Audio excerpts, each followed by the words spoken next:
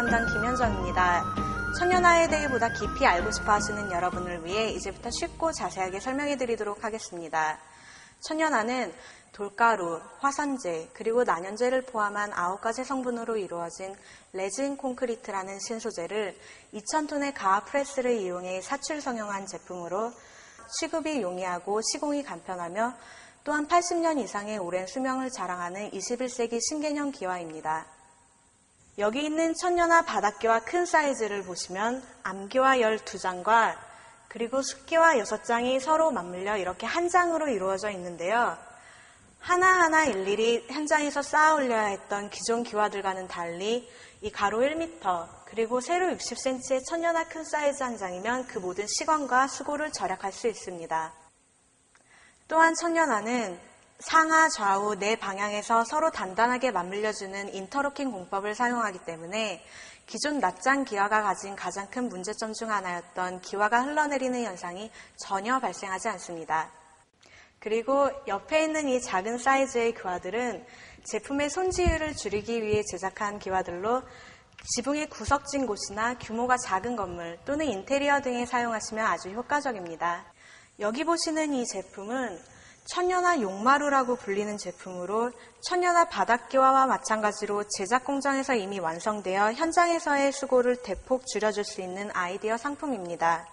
이쪽을 보시면 다섯 장의 기와가 차곡차곡 쌓아 올려져 있고 그 위에 유려한 곡선을 살린 디자인으로 불필요한 하중을 줄여 매우 가볍고 또한 견고하여 천연화 바닥기와뿐만 아니라 강판, 온두린 등 모든 종류의 지붕재와 어울려 멋스러운 연출이 가능합니다.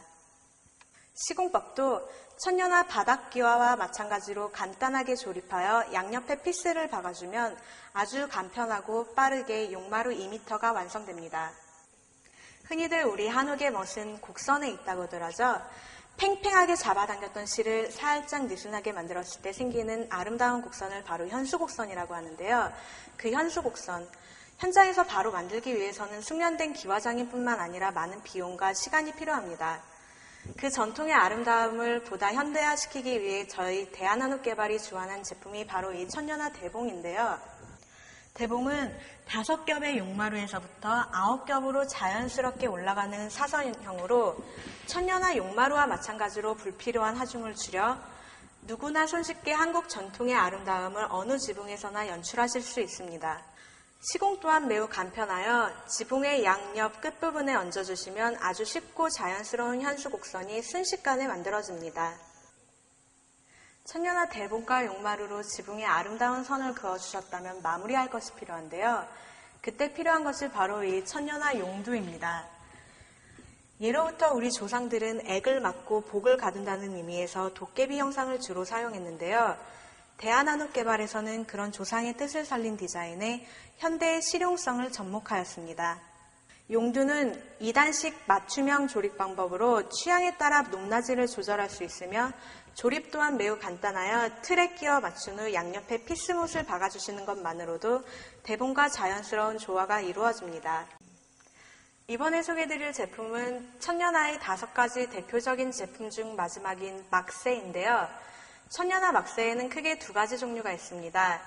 하나는 막세 일반형이고 또 다른 하나는 막세 숨긴 물바지입니다. 우선 막세 일반형의 경우 기존 기와들과 다른 특징으로는 다른 모든 천년화 제품이 그렇듯 막세 역시 경량 연속형 제품으로 시공기관과 수고를 대폭 줄이실 수 있으며 건물과 지붕 사이의 틈새를 완벽하게 막아주므로 쥐나 벌레, 각종 이물질들이 지붕 안으로 들어와 발생하는 소음이나 비위생적인 사태를 사전에 차단할 수 있습니다. 두 번째, 이 막스에 숨긴 물바지는 이름에서도 쉽게 알 수 있듯이 꼭 필요하지만 미간을 해치는 물바지를 위쪽으로 숨겨서 아름다움과 기능을 강조한 디자인으로 막세와 물바지가 하나로 혼합된 일체형 제품입니다.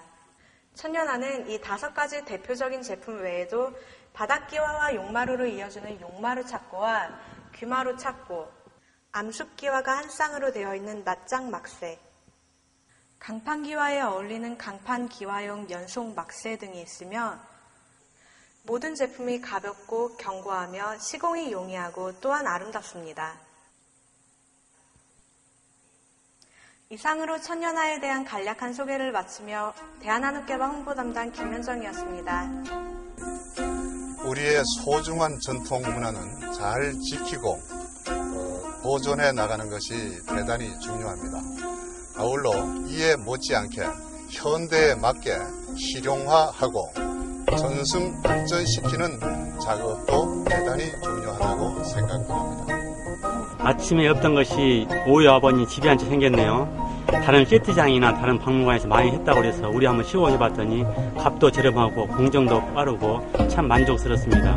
많이 기대가 됩니다. 아, 천년아요.